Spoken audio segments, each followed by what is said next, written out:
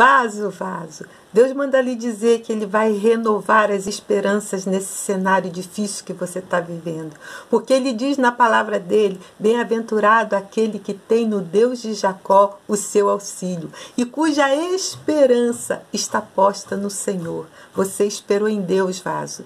E hoje Ele diz para você que nesse cenário Ele vai renovar. E o que aconteceu dentro desse lugar, no intuito de trazer a divisão e a separação, o sofrimento que você está vivendo, essa desestrutura que você está vivendo, o Senhor está fazendo uma reviravolta. E Ele manda que você se acalme e prepare o coração, porque tudo isso que está acontecendo vai passar por uma reviravolta, um reboliço tão grande que você não pode imaginar, porque você tem orado, vaso, você tem clamado, e é a sua oração, o seu clamor que tem mudado a situação, mudado esse cenário, transformado com poder e glória, porque a tua oração tem movido a mão de Deus em nome do Senhor Jesus. Se você recebe essa vitória, vaso, digita eu recebo, tomo posse em nome de Jesus e compartilhe esse vídeo com mais duas pessoas que você conhece.